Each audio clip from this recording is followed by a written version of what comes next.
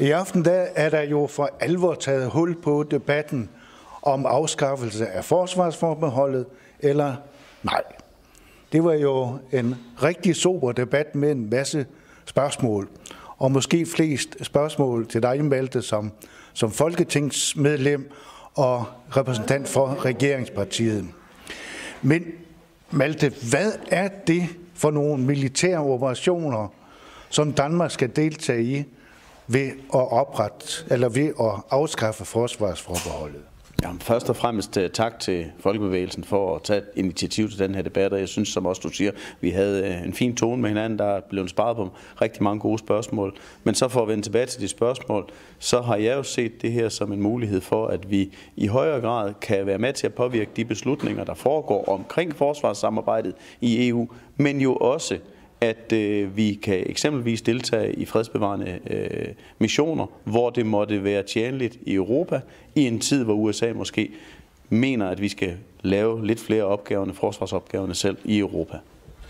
Dengang din partifælle Trine Bramsen sad som forsvarsminister, der sagde hun, jamen vi sidder jo med ved bordet, og vi har indflydelse, vi har taleret, stemmeret, der bliver jo ikke stemt omkring øh, forsvarspolitikken, så har Danmark ikke den indflydelse allerede?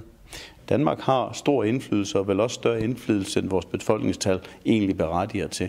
Men for mig er der et signal om også, at vi står samlet mod fælles ydre, hvad kan man sige, magter, der forsøger at påvirke det. Jeg synes jo, det er stærkt, at vi i EU har formået at vise det sammenhold indtil nu i, i, øh, i en sag, hvor Rusland har interveneret i Ukraine og har begået en krig, som jo ingen har fortjent. Lav Bok, har Malte Larsen ikke en pointe i, at netop nu med den russiske invasion af Ukraine, at nu skal vi vise, at vi står sammen? Jeg vil også starte med at sige tak for et godt møde, og jeg synes, det er så godt, der er en dialog. Så vil jeg lige sige til dit spørgsmål, at øh, nu har jo EU ikke rigtig stået sammen i forhold til Rusland. Altså en ting er, at øh, man, man siger, at man står sammen, og man har altså Ukraines flag her og der, men EU-lande har faktisk eksporteret våben til Rusland indtil 2020. Frankrig, Tyskland, Italien har været eksporteret en hel del våben. Frankrig har eksporteret efter, at russerne tog Krim, våben for over en milliard kroner til Rusland. Øh, så det, at man hvis, øh, for sådan, lave et stærkt EU, er ikke nødvendigvis det samme som, at man altid gør det, der er rigtigt. Og EU tjener faktisk penge på våbenhandel, eller EU-landene gør det. Og der er forsvarsforbeholdet jo med til at forhindre, at Danmark kommer alt for langt ind i det her militære projekt, som faktisk sender skattekroner videre til våbenindustrien. Lavbok, en af tilhørende beskyldte for at føre skræmmekampagne, blandt andet med en EU her. Ja. Den EU her, den eksisterer jo ikke. Er det ikke rigtigt? Og hvis den kommer, hmm. er det så ikke en logisk konsekvens af den situation, som vi står i?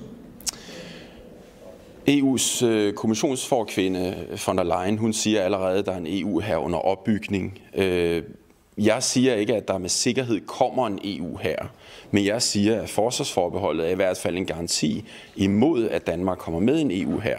Vi ved, at Tyskland og Frankrig gerne vil have en EU her.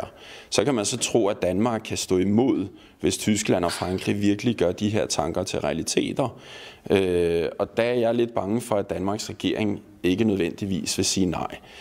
Øh, så kan det være, at vi får en ny folkeafstemning. Det får vi formentlig. Øh, og det er vigtigt, øh, at vi sikrer os, at et sådan løfte er juridisk bindende. Men for mig er det her en, en vej, som jeg ikke synes, Danmark skal gå. Det er en vej, øh, hvor jeg, som jeg synes er helt unødvendig.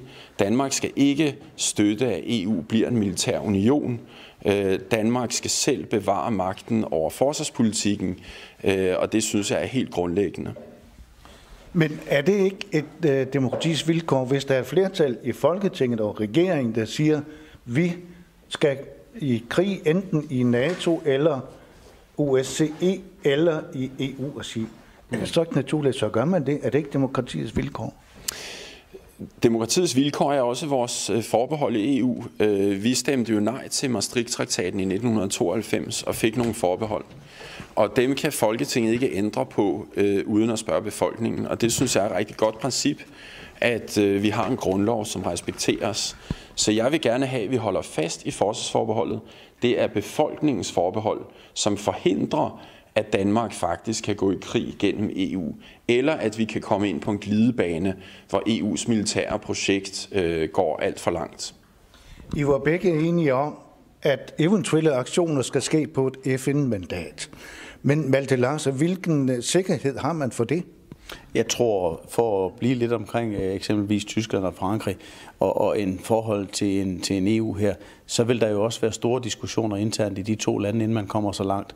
Altså mange gange sker der jo det, at vi får sådan et billede af EU, øh, som, som nogen, der ikke helt har styr på det. Altså eksemplet med lakridspipen, hvor der var en parlamentariker, der havde foreslået, at man skulle forbyde, og straks var det EU, blev det blæst op til herhjemme. Altså der går mange af de der skrøner, som vi også I har et fælles ansvar for at, at, at jage myterne væk. Men, men jeg tror jo på, at, at vi her får en bedre løsning, når det er sådan, at vi går i det spor, som vi er i gang med nu, fordi Danmark har en stor indflydelse, og måske også større indflydelse, end vores befolkningstal berettiger til. Allerede nu der er der jo soldater ude i aktioner med EU-flag, og nu vil man oprette en udrykningsstyrke på 5.000 mand. Er det ikke en EU her? Nej, det er jo ikke en EU her, som det er, fordi det er jo noget, man også tilmelder sig til. Altså enhver udsendelse af danske tropper foregår jo på øh, i Folketingssalen, hvor et folketing beslutter sig for at udsende styrker. Og sådan vil det jo også være i fremtiden. Og så vil det være aktioner, man kan melde sig til eller fra. Øh, og jeg tror på, som vi har gjort i mange år, at Danmarks er bedre, bedst stillet ved at deltage aktivt for i virkeligheden at melde os ind i et fællesskab, der også kan forsvare os selv i en given situation. Godt, vi har i hvert fald fået taget hul på en meget væsentlig debat, men for at gøre det kort og godt, Malte, hvad er så dit væsentligste argument for et ja? Jamen, min væsentligste argument for et ja, det er, at vi melder os i højere grad ind i et fællesskab og viser omverdenen, at EU er en organisation, man kan regne med, og at Danmark jo har den mulighed for indflydelse i EU, vi tager os. Er EU perfekt? Nej, EU er ikke perfekt, men vi diskuterer her, om vi skal med os en lille smule mere ind i EU, og det synes jeg, vi skal. Og lave Brok, hvad er dit væsentligste argument for at stemme nej? Det er, at den politiske magt over forsvarspolitikken skal blive i Danmark. Danmark kan allerede nu samarbejde om sikkerhedspolitik og forsvar, og det gør vi blandt andet gennem NATO, OSCE, FN og det nordiske samarbejde.